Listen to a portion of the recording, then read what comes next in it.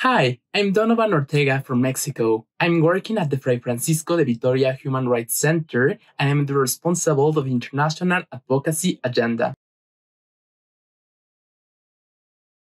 In 2015, I see that justice will become a reality for every person or family who has been a victim of violence in Mexico. That we have a more equitable society where the discrimination, hate speech, or injustices no longer exist.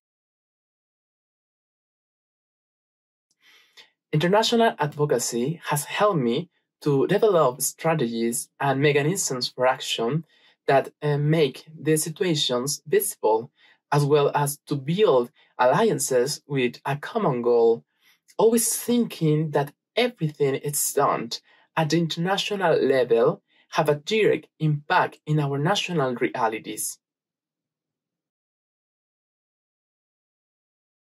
When I'm really aware of the injustices and the context of violence in which we live as a country, I wanted to get involved in some way or another. And also for my life story, I decided to participate in the human rights defense. I started doing a lot of volunteer work with different organizations and groups, but one in particular with teenagers living in very complex conditions allowed me to realize what I had to do with my life and with my work. And after it, when I started collaborating with the Fray Francisco de Vitoria Human Rights Center, where I have the opportunity to support and join many, many causes, I understand, I understood the, the meaning of to be a human rights um, defender that is like a way of life. And like one of my friends always said me is uh, that we try to defend the happiness from, from a principle of reality and that is why I do this this work.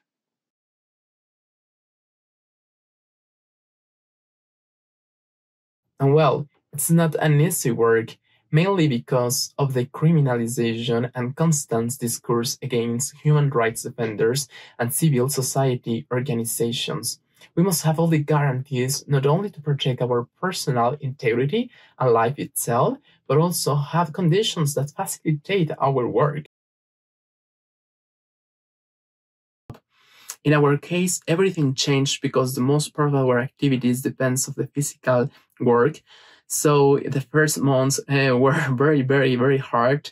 But I think we we understand the situation. We try to modify our um, way to work. But I think uh, one of the most important lessons of these times is the importance to build networks to to face of this of this challenge.